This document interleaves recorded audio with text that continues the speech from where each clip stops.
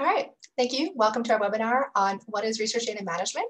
Uh, my name is Chantal Ripp. I am the interim research data management librarian at the library, and I'm joined by my colleague, Jarno. Uh, hi, yeah, I'm the senior scientific computing specialist, and I work for IT research, so I can help you with all your computational needs. Thank you, Jarno. Uh, before we get started, I'll do a little bit of housekeeping. We do have the chat and the Q&A function open. Um, we do have some opportunities for engagement, so I'll encourage you to uh, participate in the chat. If you do have any questions, please put them in the Q&A. My colleague Jarno will be monitoring while we're presenting. Uh, and we will have time at the end of the presentation to address your questions live as well. Uh, given that I am working in the country, my bandwidth isn't always reliable. I will be stopping my camera in order to share my presentation, and we will get started.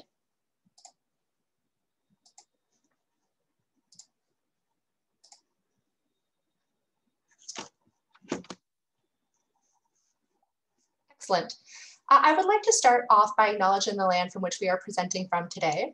I acknowledge that I am presenting from the traditional territory of the Mohawk, Algonquin, and Haudenosaunee, and recognize the enduring presence of the First Nation people.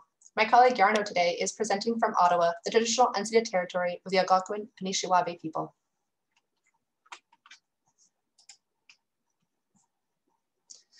Today we'll be covering what is research data management, We'll discuss elements about the planning for a research management project. We'll talk about creating uh, an organization system for managing your data. We'll talk about uh, practices for securing your research data, and, I'll, and we will finish with uh, considerations when it comes to sharing your research data. At the end of this webinar, we hope that you become familiar with the research data lifecycle, understand the forthcoming policy requirements, engage with best practices to enhance your current and future research data management related um, practices, and identify resources and contacts for further support.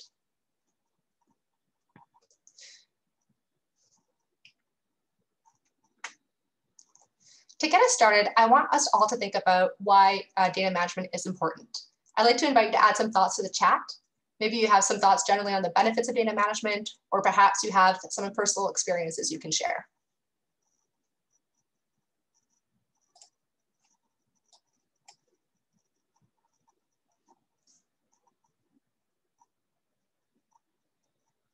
We'll be sharing some of the reasons we have come up with, but please don't be shy. Let us know what you think in the chat.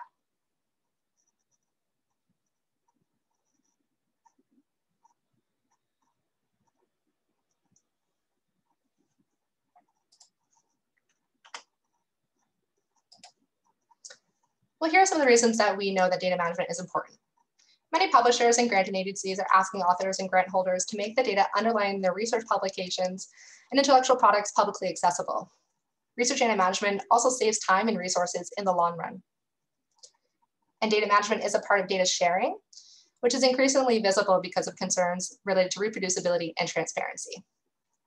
And data, especially in the digital age, is often fragile and easily lost.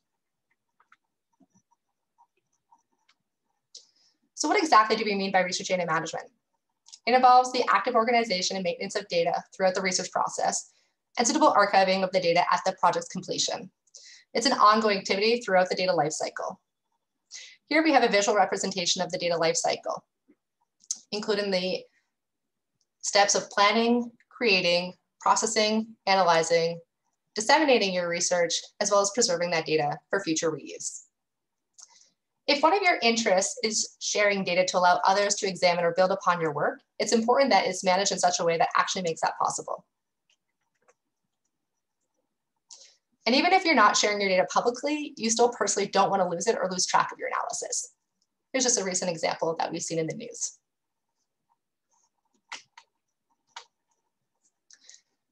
To understand the process of managing data throughout the life cycle, we should first, first define what we mean by research data. And here I've pulled the definition that's available in the draft tri-agency research data management policy. Research data are primary sources supporting research, scholarship, or artistic endeavors they can be used as evidence to validate findings and results. They may take the form of experimental data, third-party data, monitoring data, or repurposed data. And all the digital and non-digital content have the potential to become research data.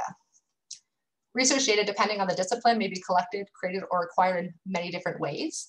And when we're thinking about research data here, what we're trying to manage, it's the, the raw data and not necessarily the aggregate data that you would have supplied as part of your publication. Researchers are responsible for understanding in advance the data retention and sharing expectations of their sponsors and funders and their institutions so that they can make a plan to budget their future storage needs and ongoing oversight of the research within their custody. So let's take a closer look at the tri-agencies as they are a major funding source for research projects here at the university. With the exception of data deposit requirements from the Canadian Institute of Health Research funded research in Tri-Council's open access policy on publications the agencies do not currently have mandatory data share or data management requirements. Uh, NSERC does not have any requirements at this time, and SSHRC does have uh, a data preservation and archiving policy uh, from some time. The tri-agencies are in the process of reviewing and enhancing their data management requirements for agency-supported research. As a step in this process, they released in 2016 a statement on principles of digital data management and they outlined a lot of their overarching expectations with regards to digital research data management. But now we're seeing um, a push towards reviewing that process and enhancing requirements. The agencies in 2018 developed a draft research data management policy, which was anticipated to be released last year, but was postponed due to the impacts of the COVID-19 uh, pandemic. Certainly that has had a, a large impact on all of us. Once launched, and we anticipate in the near future, the requirements will be phased in. So even these new requirements uh, won't be required of researchers right at the onset. Under the draft policy, there are three main policy statements that apply to grant recipients and to the institutions, and we're going to be taking a closer look at the requirements that impact researchers in particular. So under this new draft policy, Grant recipients will be required to deposit in a recognized digital repository their re digital research data, metadata, and code that directly support the research conclusions in a journal publication.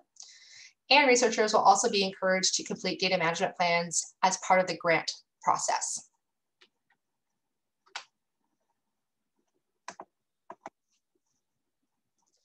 Now that we have an understanding of a little bit about what research data management is, what we mean by research data, and some of the requirements that may be imposed on us, the first step in our lifecycle model is to plan and design the approach that you will take to manage your research data throughout and after your project.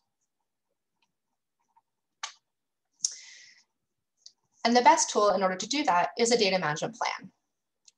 At the most basic level, a data management plan helps researchers stay organized and coordinated throughout the research process. By laying out a clear plan of action, uh, DMPs make it possible to address potential challenges and snags before they come up and ensure that our project workflows are organized in a way that'll work well for the entire team. The content and length of a DMP certainly will depend on the nature of that research project and potentially the discipline. Generally, what you'll find in a DMP are elements that describe how data will be collected, documented, formatted, protected, and preserved, how existing data sets will be used, and what new data will be created over the course of the research project, whether and how data will be shared, and where data will be deposited and or archived. While the beginning of a research project is the ideal time to think about doing a DMP, it's never too late to assess your practices. So for instance, if you're collaborating with researchers from another institution or organization, not all research uh, partners may enjoy the same rights to academic freedom. So this could limit your ability and how you make your research data after the project available. A DMP can also shed light on questions on how and where you'll be uh, making that data available. And researchers may also underestimate the effort and resources to appropriately describe and document data uh, for deposit and sharing. So for instance, there could be a need to anonymize a data set to remove any personal identifiable information. A DMP will help you reflect and identify the human and financial resources for your data management and stewardship activities.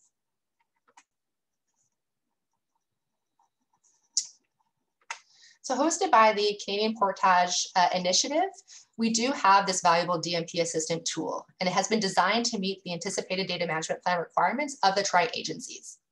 The DMP that you produce with this DMP assistant tool uh, has provided templates that are available in English and French, and it's ready to be added to any grant application. The tool guides researchers through key questions about data management, uh, as we've seen just on the last slide, uh, it talks you through, you know, what software will you be using? What tools will you be using the, during the course of your research?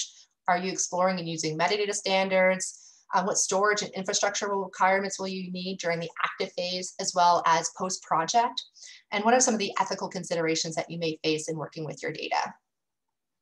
There is guidance and examples that are provided in this template, and as you can see in this image, um, next to each question, you will have guidance from Portage as well as uh, potentially some institutional guidance. And as it's a general template, not all questions will apply to all research projects, and certainly many disciplines might face some different requirements. So researchers are encouraged to answer the questions that are relevant to their work.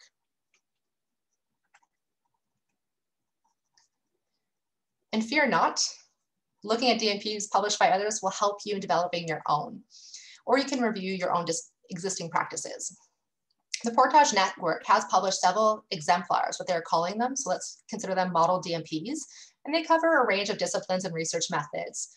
Um, so they've released them with respect to digital humanities, mixed methods, natural science, the social sciences, and they highlight best practices in those disciplines. There are other sources of uh, exemplar DMPs, including the International Digital Curation Center. We also have an example of a DMP that was co-authored by um, our research data management librarian, Felicity Tayler, and the professor, Stefanie Haustein, for the Meaningful Data Count project. This DMP will be the foundation of a forthcoming Portage exemplar. And as the PIs in, in this project practice open science and scholarship, this DMP, for instance, puts emphasis on data sharing and reuse and offers insight into how to budget for data curation stewardship activities. It also talks about the local services uh, and infrastructure that they use at the university. So it's a good guide if you're looking at creating one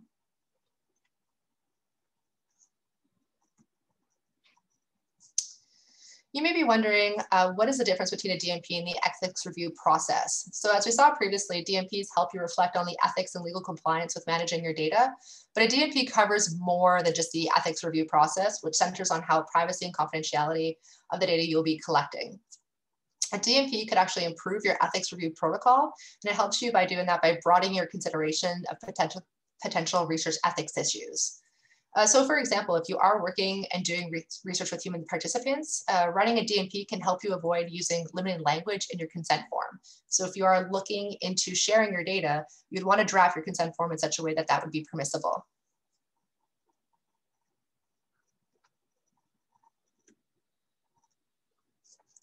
And you may have heard of the FAIR data principles.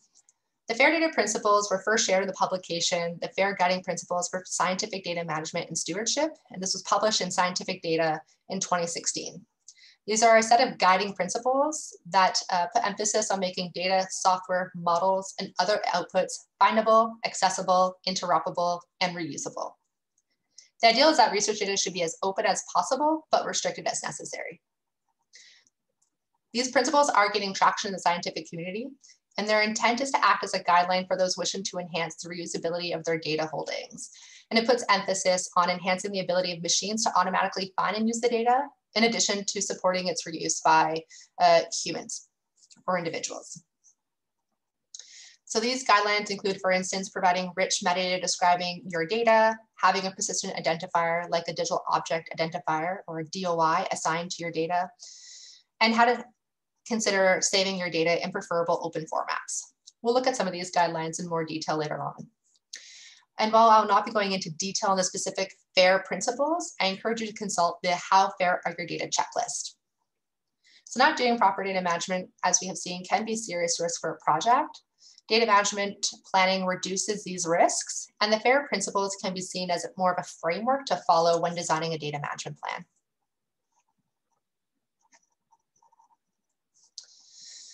However, the current movement towards open data and open science, including these FAIR principles, does not fully engage with Indigenous people's rights and interests.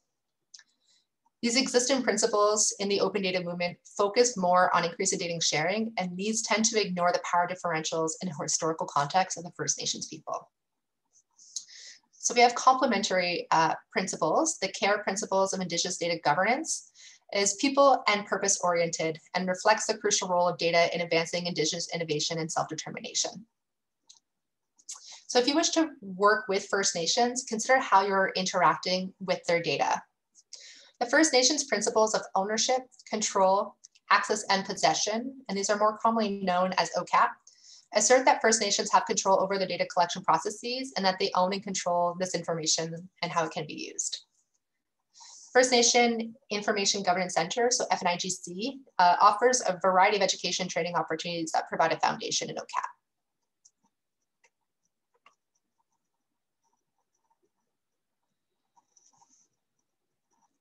So on this next stage of the data lifecycle, you'll be concerned with collecting and creating your data.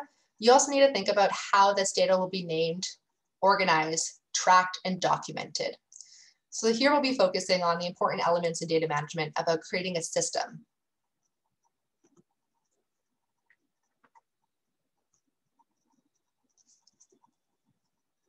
Creating a data workflow or an organizational system at the start of a project, or making sure you review the existing structure already in place in a project will save you valuable time in the long run.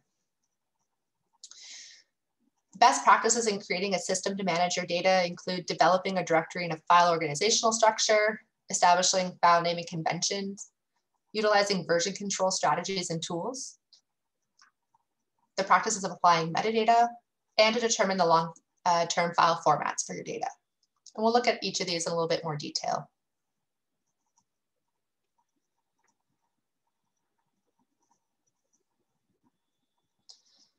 So one of the essential components of successfully managing your data is to establish a filing or directory structure for your records. You should structure these folders, whether paper or electronic, to correspond, to correspond to how data are generated and that complement the way your proposed or existing flows are in your team. Ideally, you should have arranged your data hierarchically, meaning you'd want to see folders within folders. Um, to keep it manageable, you'd want to restrict the level of folders to three or four deep. Otherwise, it could be um, a little lost. In order to keep this folder structure, for instance, um, we identified ways that we can divide our data into categories or attributes. And these attributes may be high-level projects based on time, data collection, or file type. And here we'd want to make sure to avoid overlapping categories.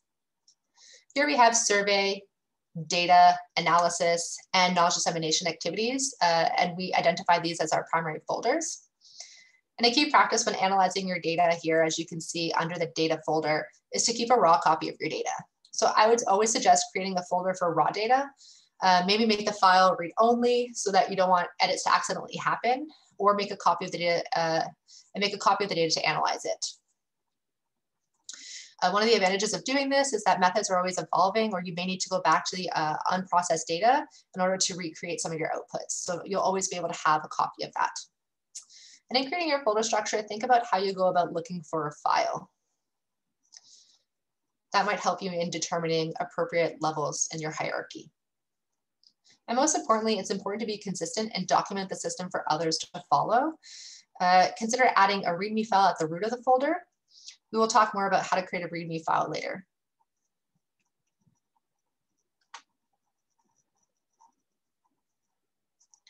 How you organize and name your files will have a big impact on your ability to find those later. I don't know about you, but I've tried searching sometimes for files uh, and I don't always come across what I was looking for until I started applying uh, file naming conventions. You should be consistent and descriptive in naming and organizing your files so that it's obvious where, what type of data you're looking for and what the file may contain. So here we have an example in our file naming convention. Uh, we started with the project name, followed by underscores, uh, looking at a standardized date format, along with a brief content description of the file and a versioning information. You'd want to avoid using spaces, dots, and special characters in your file naming convention. Uh, you'd want to be able to use hyphens or underscores, which is machine readable.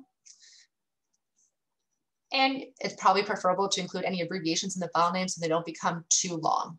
If you are using any abbreviations, it's important to consider documenting those in a README file, for instance, so that people have a clear understanding of what those mean.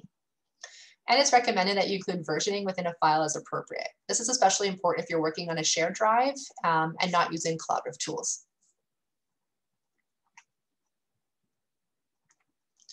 Let's take a little bit of a closer look at what I meant by that. Uh, version control is to capture a snapshot of a file or of a project's file at any moment in time. This allows you to easily review the history of the project, manage future changes, and revert to previous working versions if needed. Um, I've often done modifications to a tabular data set, um, and I needed to go back to see what was my thought process to make sure I documented that clearly. Uh, and versioning allowed me to see the progression of my, my modifications. There are a few strategies for versioning files and documents. At the most basic level, we have um, versioning is captured manually in a file name. And you'll see this, uh, it's particularly important if you have files on a shared drive or on your own desktop. An intermediate strategy is to use a platform with version uh, control built-in capabilities like OneDrive, Dropbox, and Google. And certainly we're seeing more and more research being done using Google and in our own OneDrive environment. Uh, Microsoft Office or Microsoft OneDrive and Google, for instance, uh, enable seamless collaboration. So you'll be able to collectively work on a file at once, and these are track conversions. And of course, there are more advanced ways of using version control software like Git and here Mercurial. Uh, they are more designed amongst programmers, but they, Git, for instance, can be used to track changes in other sets of files. The key takeaway here is that version control is not just for code and data. It should be applied to all your documents in your project. Taking a closer look at OneDrive just as an example, as uh, most of us at the university are now transitioning to potentially using Google or even this OneDrive environment. Um, if you're planning to use make use of heavy collaborative features in these environments, you can enable versioning features and you can actually personalize or set uh, the versioning that you'd like to see. So you can determine if you want to be able to track only major versions or as well as minor draft versions. Um, and you can modify those settings. So when you do have versioning applied within OneDrive, for instance, you'll only be able to see as far back as 10 versions of a document. So keep that in mind as well.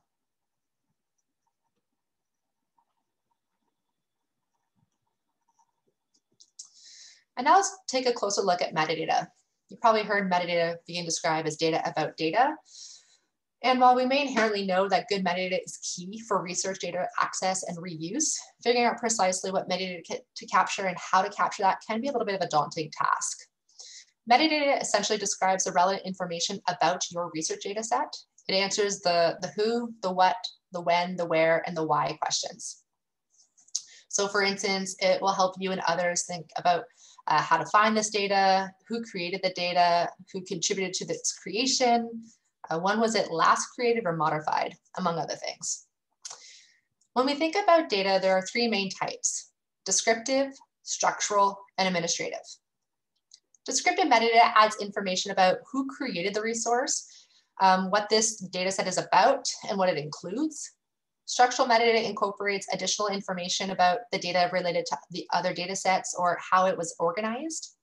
And administrative data provides information about when the data was created, modified, or who can access that data, as an example.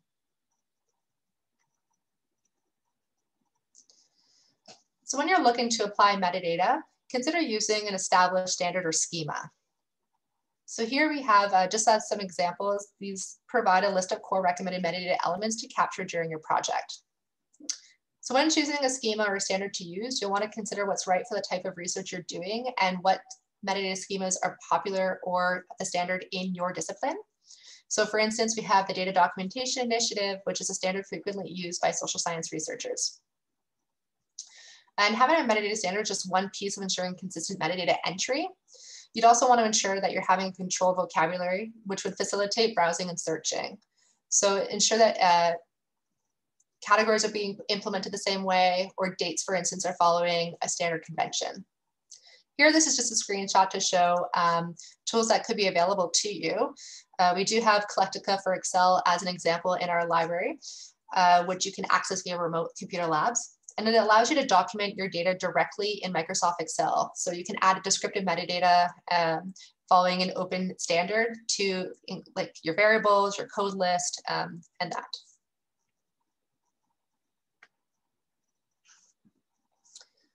So we talked previously about uh, documenting your workflow in a README file, uh, adding a README file at your file structure. So what exactly is a README file? They are used to document changes to files and, file names within a folder, explain file naming conventions for future reference. So again, if you're using acronyms in a file name, you'd want to make reference to what those acronyms mean.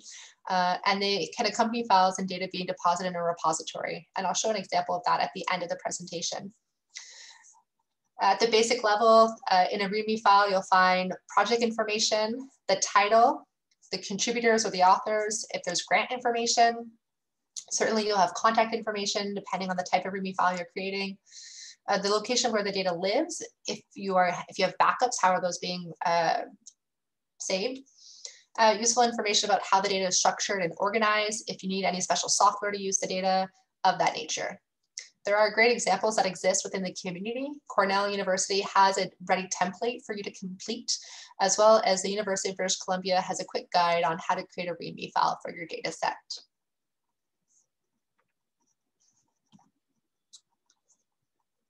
And so when you're also choosing a file format for your data, you need to consider the data lifecycle activities.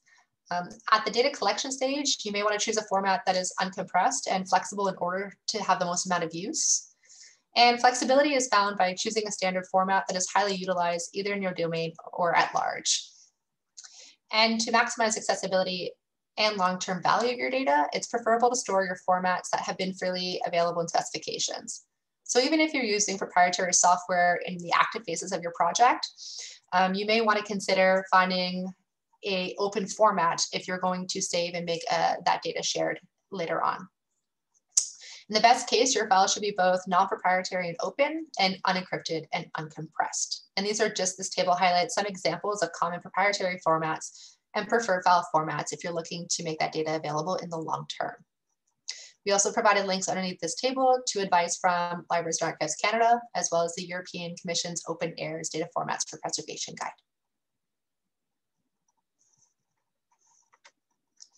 Now I'd like to pass the, the mic to my coworker, Jarno, to speak about uh, elements in securing research data. Yeah, thank you, Chantal. Um, yeah, so when you talk about data security, there's two ways to interpret it. Uh, like you want to secure your data so that if there is anything uh, lost or broken, then you might want to get your data back, of course. So that's one way of uh, data security. Uh, the other security is um, um, being sure that your data is only accessible by you and not by anybody else. And that's uh, where the encryption comes in. And also the, the cloud storage where you can set up uh, all the permissions that you want for that particular project. Uh, next slide, please. So for backing up the data, uh, you can use what is called the, three to one rule. So that means uh, three copies of your data, uh, two at home and one offsite. So if there is something like a major catastrophe at uh, your place of work or at your home, wherever you store your data, that you have another copy of the data available elsewhere. So you will always be able to recover your data. Uh, for the offsite one, we at the university, uh, like Chantal mentioned, uh, we offer a Microsoft OneDrive. So every researcher by default gets one terabyte of storage. Um, I'm not entirely sure how much uh, students get. Uh, it's either one terabyte or a quarter of a terabyte. And if you would like to work together with other uh, collaborators, then um, we can create groups that everybody has access to it. And we can also increase the storage if you need more. Uh, the other option is a network drive uh, provided by us. So we can provide your research group with uh, storage that is locally hosted on the campus. Uh, that also means it's only available from the campus, so it's not accessible from the outside world. Uh, but we give uh, five terabytes for free for your research group. And if you want more, uh, you can buy more for $1,000 per five terabytes. So it's fairly cheap uh, storage. Uh, but the disadvantage of it is that it's only available on the campus. Or it could be an advantage if your grant says that uh, data has to be stored locally. Uh, for instance, some grants specify that data has to be stored uh, within Canada. Uh, although in that case, you can still use Microsoft OneDrive because their data centers are actually in Canada. Uh, that has been guaranteed by Microsoft to us. And any files that you store on those cloud solutions or on our network drive, they are automatically backed up. So if you accidentally delete a file, you'll be able to recover it uh, pretty easily. Um, there's also self-service um, if you want to have your own solutions for backing up. Like you can use an external drive uh, and then use, if you're on macOS, you can use the time machine to back up to that. or for instance, uh, Duplicati is like a free uh, backup tool that you can use. Um, I wouldn't really recommend using external drives because they can get lost or you can, um, uh, it keeps the data in one place. Whereas for a cloud solution, there will always be a backup available for any data you store there. Uh, next slide, please. Yeah, so for the University of Ottawa, we uh, have Microsoft as 365 available. Uh, that's a new name, what used to be called Office 365, even though Microsoft is still quite confused about that. Um, but uh, OneDrive that uh, I mentioned is part of this. So there's more to uh, Microsoft 365, and that's the collaboration suite that you have. So any file that is stored on OneDrive, you can open uh, that file in Word and Excel, um, and others can open it at the same time and you can make changes at the same time. And any change you make, make uh, the other person will see in real time. So it's a great tool also for collaborating. And it doesn't have to be uh, Ottawa researchers. It also works for external researchers. So you can add uh, external collaborators to your group and everybody will be able to edit the files that you store in there. Uh, it also comes with Teams, so you can chat. I have um, you have an entire chat that you can use and you can make video calls. And it also comes with uh, free copies of Office. So at the University of Ottawa, if you uh, go to uh, the Microsoft site and you log in with your UX uh, credentials, uh, you can download uh, five copies of Office for your devices or five um, copies for your mobile devices like tablets and phones. And to have enhanced security for your OneDrive, uh, I would also highly recommend enabling MFA. So MFA stands for multi-factor authentication. And it makes your account extra secure because it doesn't just ask for your username and password. Uh, but once you try to log in, uh, you get a notification on an app on your phone asking you to confirm if it's really you that logged in. So that's why it's called multiple, multiple factor because it's your username and your password and a device that you uh, physically have. Uh, next slide, please. So for securing your data itself, um, if you store your data on OneDrive, it's already encrypted. So that's a very nice feature. Um, but if you store data locally and the data is conf uh, confidential, uh, you should make sure that the data is stored on an encrypted and password protected device. So if you use uh, an iPad or uh, a mobile phone, if you set a password for the device, uh, usually the device is also automatically encrypted for you. Uh, so if you collect data in a field that is sensitive, uh, you definitely want to send a password on that device. Um, and for storing the data locally on your own computer, um, I would highly recommend uh, using encryption, uh, especially if your computer is uh, a laptop that could get lost. Like Chantal mentioned at the beginning, where a laptop was lost and the data was not encrypted, so then you're in big trouble. Um, when you want to share files, um, you can share that uh, again through OneDrive. So you invite somebody or you send them a link with a password. Uh, but if you can, if you want to use uh, email, that's also possible. But the file that you are sending, uh, it should also be encrypted uh, because email is not very secure. Uh, people might be able to intercept your emails and get the files that way. Uh, but if you do uh, encrypt your uh, file that you send uh, with a password, you need to make sure that you don't always also send the email, sorry, also send the password over the same email because if someone intercepts your email, they'll also have the password. So you would either call them or you use like a chat program or something like that. Okay, next slide, please. So for the encryption, uh, there are various types for that. Uh, on the picture on the right, uh, you see sort of what encryption looks like. So in the file explorer, I have a, a file called a test file, and it just contains the text hello world. Uh, but then when you apply encryption to it, uh, the file name is totally uh, garbled. And then when you try to open that file in your text editor, you just see a whole bunch of nonsense and yeah, good luck trying to get information out of that. Um, so there's two types of encryptions. Uh, there's the, the full disk encryption, and that encrypts the entire hard drive of your computer.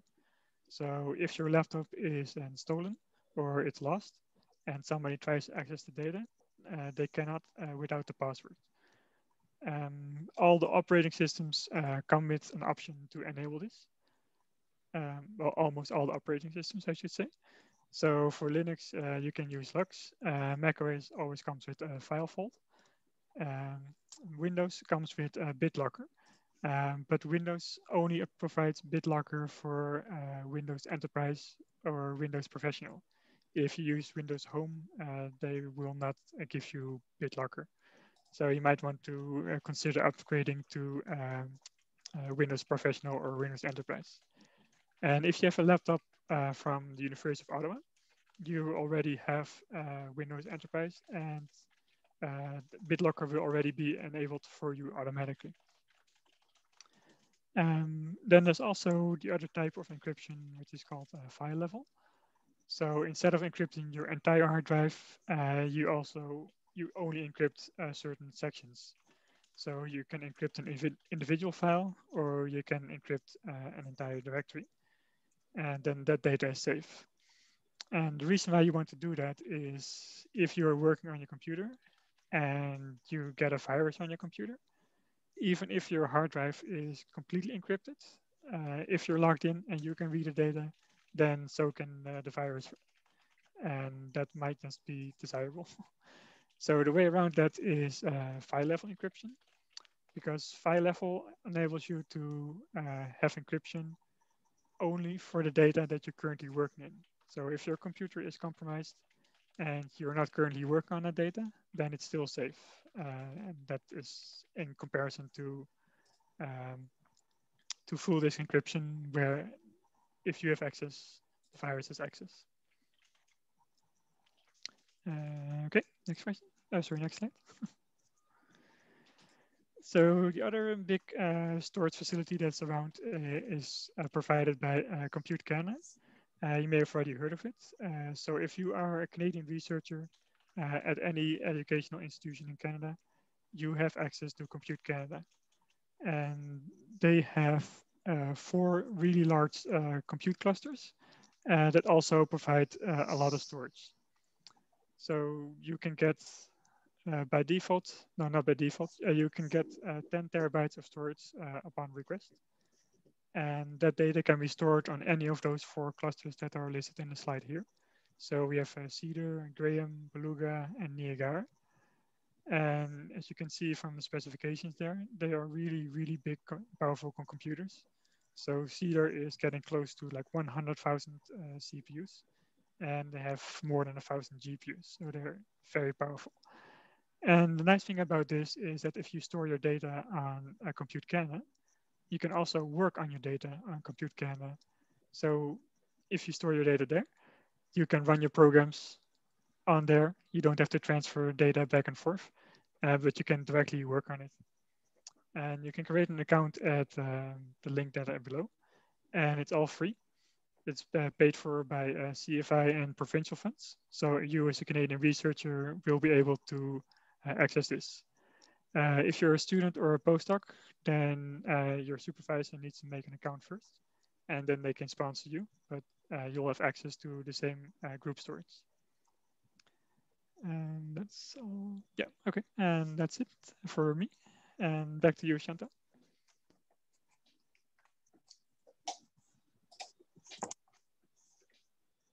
Thank you, Jarno. Uh, those was a great overview of a lot of the technology and infrastructure available during the active phase of your research. And certainly we'll be uh, looking at other infrastructure solutions when it comes to data sharing or disseminating your research data. Uh, two key practices I just want to point out, but we're not going to discuss in detail in this next section, is that you want to ensure that you own the data uh, so that you have the rights to redistribute it and that the data has been anonymized before you share any data publicly. So there are various options that you could consider when you're looking to share your research data. Some of these options include uh, supplying your data as a supplementary material to a publication. Um, you may choose to disseminate your research via website, Or now, um, as many may become more familiar, choose a data repository. And there are several options within that sphere as well. You can look at an institutional repository, a disciplinary specific repository, or maybe even a generous repository location. There are certain elements you may want to consider in making this choice. Uh, when you choose to disseminate, for instance, your data as part of supplementary materials, you may be signing over your copyright under a data transfer agreement. So uh, that data may actually be available behind a paywall, for instance, and not necessarily available. Um, data that's also only kept on a website could be very vulnerable to long-term access. If we're not using uh, platforms such like Git, and we're just using a website, PIs change, data could be lost, the integrity of that. So it is recommended that you publish your data in a supported data repository. There are a lot of advantages to using a data repository. They provide infrastructure for long-term data storage.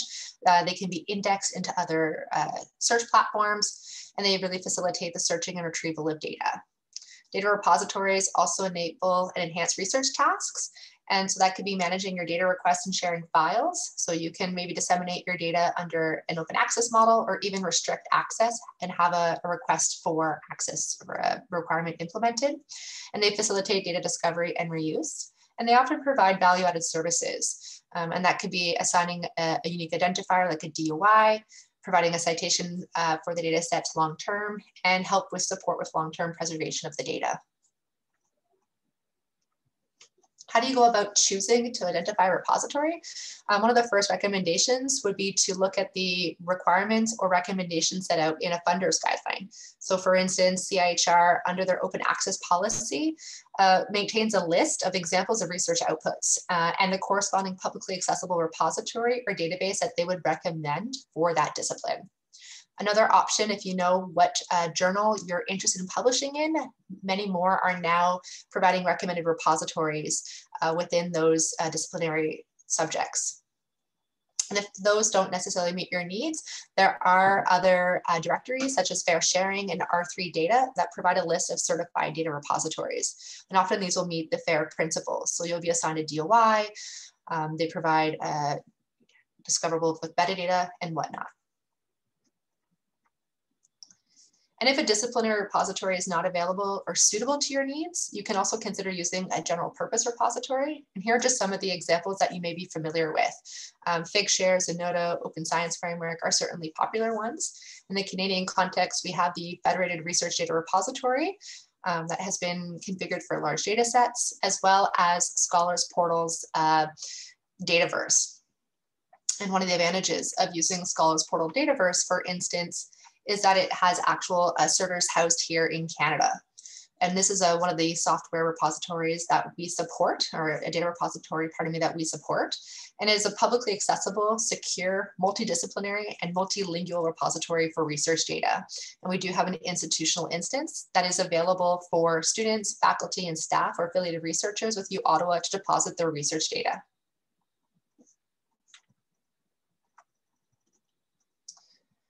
Some repositories already have uh, required standards that you must adhere to when applying descriptive metadata to your data set that you're going to deposit. Um, but many repositories only require the basic information, such as a title, a contact author, and a choice of a license.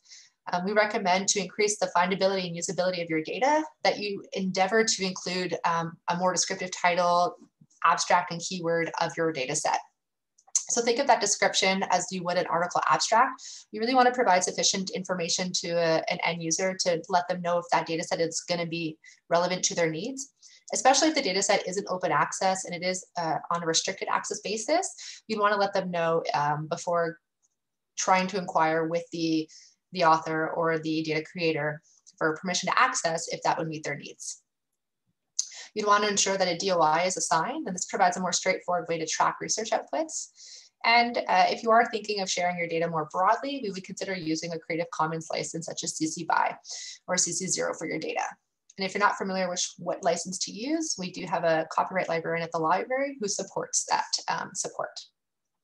And you'd want to give a credit to citing your data within your research publication. So the best practice as well is to be able to identify in your research publication where your data is available. And that's often by providing a data acknowledgement or a uh, in your citation reference list where your data set is housed with the DOI. And here's just an example of what has been deposited in a Scholars Portal Dataverse. Um, you'd want to include the anonymized data sets as well as any of the supporting documentation to support its reuse and its uh, reusability. So that could be a code book or a README file that outlines the methodologies and whatnot. Um, and as we talked about earlier, what elements you'd like to see in a README file. Here we have various tab data sets as well as a README file made available in a document format and that describe the methodology used to create a lot of the, the file structures. Uh, the Portage Network has made available a resource known as Documentation and Supporting Materials Required, and they provide links to uh, templates available to help you support and describe your data set to support deposit. Looking at the next section, we are going to come to conclude on the support and services available at U Ottawa. We highlighted a lot of great resources and we want to make sure you know where to go and find them. So here we have a URL to the Research Data Management webpage uh, hosted at the library, and you'll find guidance on what is a data management plan, as well as link to the DMP tools and the DMP exemplars. We go into concepts that you should consider about, again, where you should publish your data. And we also have uh, resources that were recently created to support data sharing in light of uh, the rapid responses for COVID uh, funding. We also have links to training and events that are being put on uh, with a focus here on research data management. Similarly, we do have the website here for scientific computing, which will outline the infrastructure and services available and also provide links to seminars being put on by scientific computing. Today, we went over a lot of the brief elements of what are, constitutes uh, good data management practices. And here we have available for you a brief guide for research data management. I should have mentioned it at the onset, but we will be sharing the presentation slides with you so that you don't have to worry about capturing all the URLs. And here, like we talked about today, uh, some of the best practices highlighted in this takeaway are uh, the importance of saving a raw data version in its original format and working from process versions or work from copied versions, pardon me, uh, the importance of backing up your data, uh, applying metadata to describe your data, considerations that you'd want to have in processing your data, as well as archive and preserve your data uh, by sharing your data in a suitable data repository. Coming up, I would like to highlight as part of the series, we do have other webinars available. Next up would be Jarno, again on IT services, specific resources for professors. Coming into March, we'll be taking a deep dive, uh, looking at spreadsheets to the map. So best practices when mapping your data and visualizing your data uh, using ArcGIS.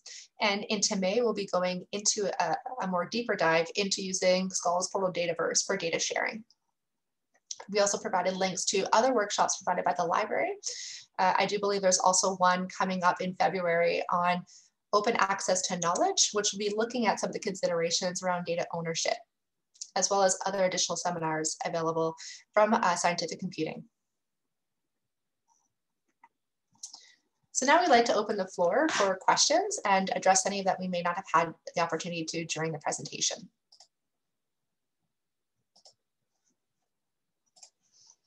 I believe if you raise your hand, you can either ask the question in the Q&A, the chat, or if you raise your hand, we can unmute you in order for you to be able to ask your question.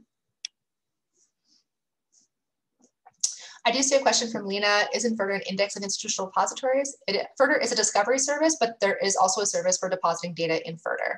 I'm happy to follow up with you and provide you additional context on that if you're interested. And I see that you did respond that to Jarno. And yes, uh, Hayat, we will be sharing a copy of the presentation. We will also be uh, making the recording of this available as well.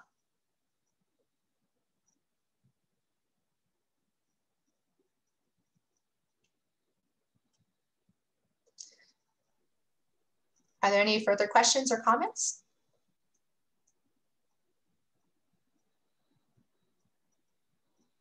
If not, I'd like to thank you for participating today. Uh, I'll make sure to get you a copy of the presentation before the end of the week, and we'll also be making a link to the presentations that were recorded available from our respective registration sites. Oh, there's a question. Oh, there is a question from Lena.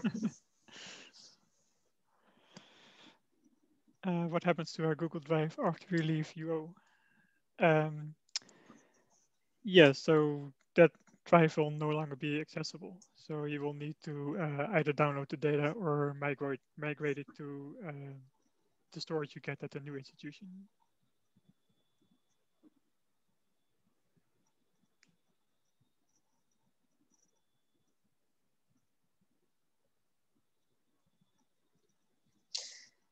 Certainly this was just an overview. In an hour, we can't cover and go into too far in depth to all the research data management uh, considerations. Uh, will the training be giving in French? We do have a copy of the presentation. Um, due to unforeseen circumstances, we postponed the French presentation, but we could follow up with you with the French copy as well of the presentation. Um, and make that available. And how long the data is intended to keep. Some companies keep their data for 50 years. That's a great question. Uh, the, you would look at the data retention requirements, either of your funder or of your institution. Currently right now, U Ottawa um, does have a data retention requirement for research data, and they specify looking at the funding granting agency sources.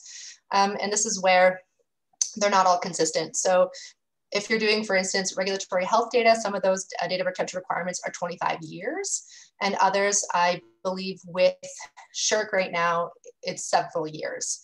Um, but it will depend on the institution or the funding requirements of your research. So see some questions in the chat about um, OneDrive. so does offer does OneDrive offer the same storage? Um, so the same storage as uh, Google Drive. Um, so Google Drive was, I mean, the Google Drive file stream, it was unlimited. Uh, but for OneDrive, we start with one terabytes. And if you want more, you can just ask for more. So it's essentially unlimited as well. and the other question is, uh, can I keep OneDrive data beyond graduation day? Uh, no, that's the same thing as um, with Google Drive. So you need to get off the data first. And yeah, after your account uh, is closed, uh, the storage goes away as well. So by applying good data management practices, um, if you do have to migrate your data, you'll know what data is valuable to keep and migrate somewhere else.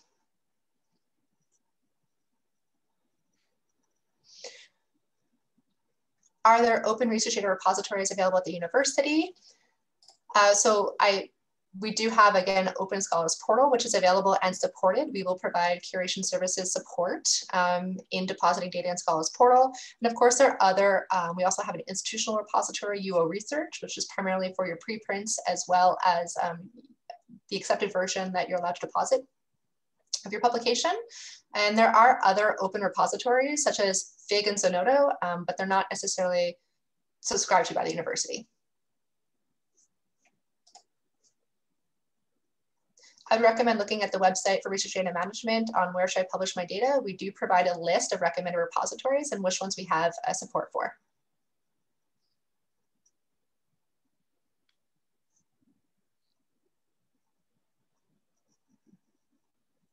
We still do have some time if there are any other questions.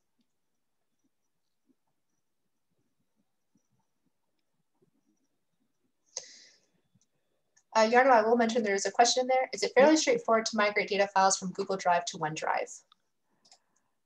Um, it is. It just takes a while depending on how much data you have. uh, I mean, the easiest way is to install both the Google Drive client as well as the OneDrive client and just uh, transfer the data like that. Uh, it also takes a while because you have to download the data and it uploads it, but it is the easiest way to do it. And if you have a lot of data, you can contact me and uh, we'll figure it out.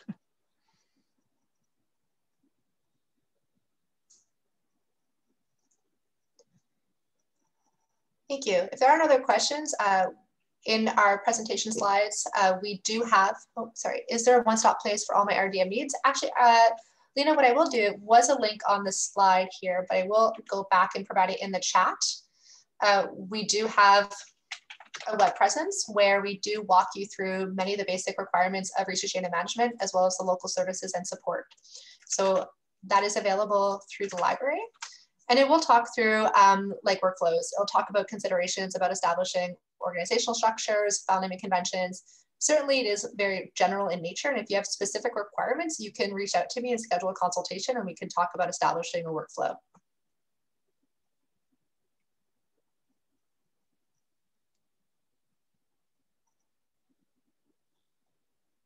Perfect.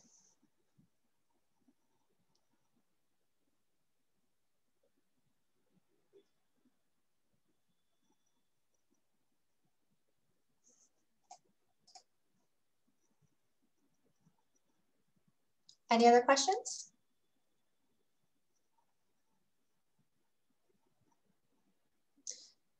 Again, thank you so much everyone for taking time out of your busy schedules. We will send a copy of the presentation. And uh, if you prefer, I can send the English and French ones to everyone as well.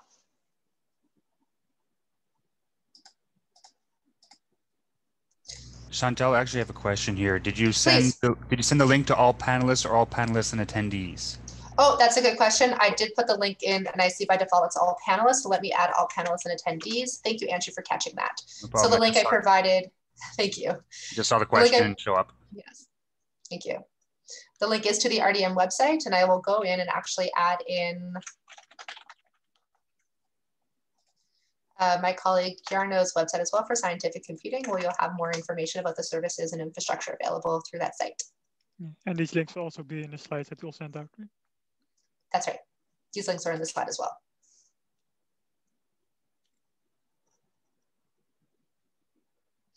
Well, have a great day, everyone.